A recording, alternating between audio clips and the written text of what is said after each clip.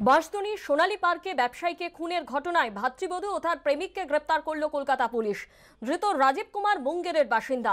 বিহারের বাঁকা থেকে গতকাল রাজীবকে গ্রেপ্তারের পর মুকেশের ভাইয়ের স্ত্রী ললিতার কথা জানতে পারে পুলিশ। আজ সকালে বাঁশদনী থেকে ওই মহিলাকেও গ্রেপ্তার করা হয় পুলিশের দাবি। জেরায় রাজীব জানায়, তার সঙ্গে ললিতার বিবাহ বহির্ভূত সম্পর্ক গড়ে ওঠে। খুনের দিন তারা দেখাও করে। তখনই মুকেশকে খুনের ছক কষা হয়। পুলিশ সূত্রে খবর, রাজীবের দাবি তার সঙ্গে সম্পর্কের কথা জেনে ফেলায়। মুকেশও সম্পর্ক তৈরি করতে ভাতৃবধূ ললিতাকে চাপ দিচ্ছিলেন। রাজি না হওয়ায় ব্ল্যাকমেল করতে শুরু করেন মুকেশ। সেই আক্রোশেই খুন বলে দাবি ধৃতের। রাজীব ও ললিতার দাবি আদৌ সত্য কিনা খতিয়ে দেখছেন তদন্তকারীরা। সাতই ডিসেম্বর বাঁশদনী সোনালী পার্কে বাড়ির সামনে খুন হন মুকেশ সাউ। উনিশে ডিসেম্বর কলকাতায় পুরভোট জোর কদমে প্রচার করছেন ডান বাম সব পক্ষের প্রার্থীরা। কলকাতা পুরসভার আঠাশ নম্বর ওয়ার্ডের তৃণমূল প্রার্থী সমর্থনে প্রচারে নামলেন রাজ্য তৃণমূলের সাধারণ সম্পাদক কুণাল ঘোষ। এদিন রাজাবাজার এলাকায় চলল জনসংযোগ। আরে বিজেপি বলেছিল তো ডবল ইঞ্জিন সরকার।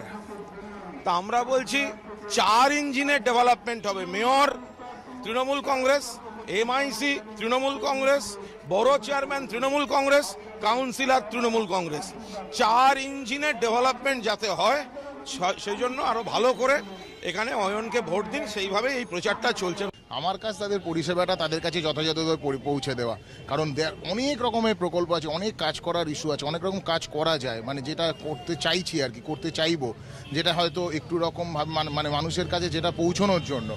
সেটা শুধুমাত্র যে আমি ড্রেন খোঁচ আনলাম কি আমি গিয়ে জল জমেছে কিনা দেখলাম, না, সেটা শুধু নয়। অনেক কিছু করার আছে, একটা বড় গুরু দায়িত্ব। তো সেই জন্য ওটা নিয়ে আমার কোনো সমস্যা নেই, এখানে বিচারক মানুষ, আশা করি বিচারকদের কাছে আমার মামলায় আমি জয় পাবো। এগারো থেকে পনেরো। পাঁচটি ওয়ার্ডের তৃণমূল প্রার্থীদের নিয়ে মানিকতলা এলাকায় সুদীপ বন্দ্যোপাধ্যায়ের রোড শো। ছিলেন এগারো নম্বর ওয়ার্ডের প্রার্থী অতীন ঘোষ।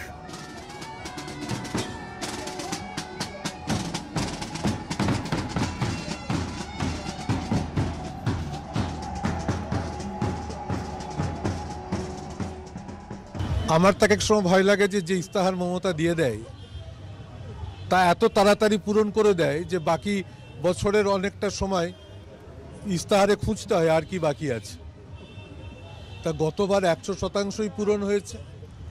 মা সেতুকে অতিক্রম করে যদি নিউ টাউনের দিকে যাওয়া যায়, তাহলে যে কলকাতা দেখা যায়, সে কলকাতা লন্ডনকে অতিক্রম করেছে। বাকি কলকাতা শহরের আভ্যন্তরীণ যে সমস্যাগুলো আছে, এবার তার দিকে নজর দেওয়া হবে।